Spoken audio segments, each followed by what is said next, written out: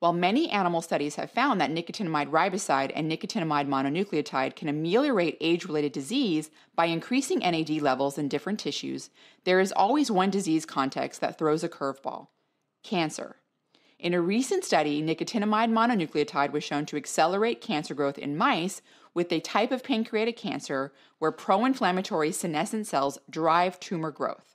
When mice were injected with 500 milligrams per kilogram body weight of nicotinamide mononucleotide for 13 days, they exhibited significant increases in precancerous and cancerous lesions in the pancreas. So let's talk about this a little more because nicotinamide mononucleotide's effect on accelerating tumor growth was dependent on senescent cells, which can disrupt normal tissue functions and, ironically, also drive the progression of cancer over time as well. This is in spite of the fact that senescence is a program that usually prevents cancer more immediately in the short term. The reason this happens is that when cells become senescent, they can secrete molecules that tend to have the following qualities they are pro inflammatory, they're involved in immune activation and evading the immune system. They're involved in growth signaling and also involved in angiogenesis, which plays a role in cancer metastasis. NAD seems to increase this quality of senescent cells, likely because it's being used in terms of energy metabolism. So it's making these senescent cells even more tumorigenic. And while this study only looked at nicotinamide mononucleotide's effect on cancer growth, it's quite possible that nicotinamide riboside may show similar results in this very, very specific context, which is a type of cancer where pro inflammatory senescent cells drive tumor growth. That does not mean that nicotinamide mononucleotide or nicotinamide riboside supplementation will cause cancer or even drive tumor progression in other types of cancer. But I will say it would be nice to see long term animal studies to confirm. I'm sure those are underway. There are headlines popping up all over the place claiming that supplementing with nicotinamide riboside, which is a form of vitamin B3, increases cancer rates. The drama stems from this paper here, which concluded that NR supplementation results in a significant increase in cancer prevalence and metastases of triple negative breast cancer to the brain. This is a big deal in the longevity space because many people use vitamin B3 supplements such as NR or NMN to support their NAD levels, and NAD is a molecule that's central to our metabolism. So the last thing that we want to do is take a supplement that will increase cancer rates. But to cut to the chase, this whole saga is a classic example of people reading an abstract of a paper, panicking, and then extrapolating all sorts of nonsense. So instead, let's dive into the details of this paper and make sure to subscribe. The authors manufactured highly aggressive breast cancer cells and then directly injected them into 19 separate mice. That in itself is a massive red flag. Normal mice and humans don't just have highly aggressive of breast cancer cells injected directly into them. Instead, cancer develops by a series of mutations in the cells that cause uncontrolled growth. In humans, we've got a fantastic study that was published in the New England Journal of Medicine, and it was looking at nicotinamide, which is also another form of vitamin B3, to see if it could be protective against skin cancer. This was a double blind, randomized controlled trial where half of the participants took 500 milligrams of nicotinamide twice a day, and the other half took placebo, and the study for 12 months. At the 12 month mark, they could see that the rate of new non melanoma skin cancers was lower by a whopping 23% in the nicotinamide group compared to the placebo, and this was statistically significant. This led to the conclusion that oral nicotinamide is safe and effective in reducing the rates of new non melanoma skin cancers in high risk patients. Therefore, it's plausible that by supplementing with vitamin B3, we are supporting our NAD levels, leading to less DNA damage and less cancer rates. But the new paper that's caused all of this drama completely bypasses that probable protective effect. Plus, the study only used 19 mice, so by week 10, 7 out of the 10 mice in the nicotinamide riboside group, they had detectable tumours, so 70% of them, while only 5 out of the 9 mice in the control group, so 55%, had tumours, resulting in a 27% increased tumour prevalence. Now that sounds like a lot, but this does not reach statistical significance because again, they're using so few mice in the study. And in the second part of the study, the highly aggressive breast cancer cells, they were injected directly into the hearts of the mice, and it was this experiment that they could see an increase in brain metastases in the nicotinamide riboside group. Once again, though, normal mice and humans don't have breast cancer cells directly injected into their hearts, we cannot extrapolate this to normal humans and normal mice. To cap things off, one of the authors of the study had a pretty damning statement. He said that the title of the news article, Popular Dietary Supplement Causes Cancer Risk and Brain Metastases, is clickbait material and totally inaccurate from a scientific standpoint. The experiment does not allow for this conclusion. Besides, if we wanted to see what happens when nicotinamide riboside is given to mice for their lifetime, we've got fantastic research from the Interventions Testing Program, and while that paper didn't show an improvement with nicotinamide riboside supplements, it certainly didn't show an increase in cancer rates. Overall, there is no evidence that vitamin B3 supplements, including NR, NMN, nicotinamide, or niacin, cause cancer. It's probably the opposite, where they're likely protective, and we've got evidence of this protective effect in humans. Instead, what is an open question is what happens when vitamin B3 is given to people that already have diagnosed cancer. In those cases, will vitamin B3 help fuel that existing cancer growth? Don't know. And if I had diagnosed cancer, I would not supplement with vitamin B3. That's a massive difference. This researchers studied the effects of NAD on triple negative breast cancer or TNBC, which is notoriously hard to treat. Cells of TNBC lack the three common receptors that are usually found on the surface of breast cancer cells. No receptors means drugs don't have anything to latch onto, so it's difficult to target the cells with treatments. But this study showed that continuous use of NMN significantly impeded tumor growth and metastasis in mice, with similar results on cells taken from a human cancer patient. So, the researchers first did a study in the laboratory in vitro to see what would happen when they added NMN to the cells, and what they found was pretty interesting. They discovered NMN increased the levels of NAD in the cells really quickly, and here's the kicker while NMN didn't affect the growth of the cancer cells, it did slow down their ability to spread and invade other cells. That's pretty important because spreading and invading is kind of cancer's shtick.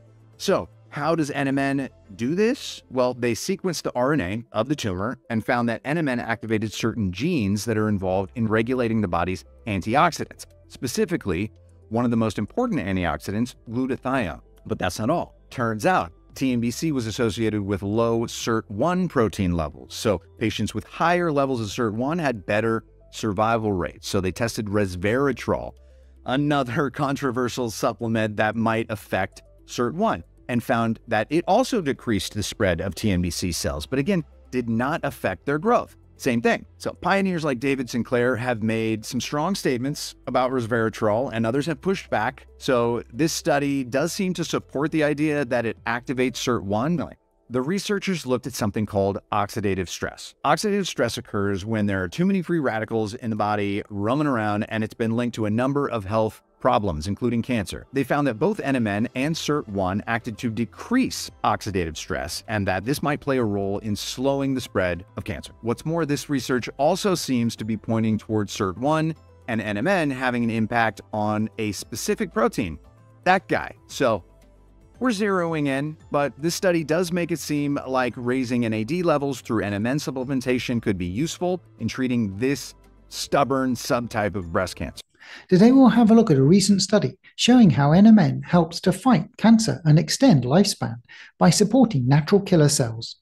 Here is the study NAD plus salvage governs mitochondrial metabolism, invigorating natural killer cell anti-tumor immunity.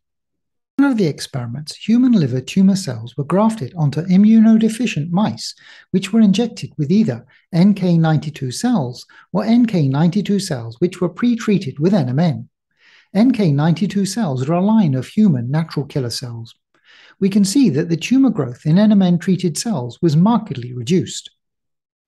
Looking at the Kaplan-Meier curve, we can see that the NMN treated mice also had significantly extended lifespans. Another test they ran was with mouse melanoma cells from a cell line called B16. These were treated with NK cells, which had either been pretreated with NMN or not. The results show reduced tumor growth in terms of weight and volume for those that were treated with NMN. They note that NK cells are an emerging area for tumor immunotherapy as they are safe and not tied to specific antigens. And as noted, NK cells lose some of their ability to kill cancer cells in the tumor microenvironment. Their conclusion is that NAD plus salvage is an essential factor for NK cell homeostasis and function, which suggests a potential strategy for invigorating NK cell based immunotherapy. Here is the study.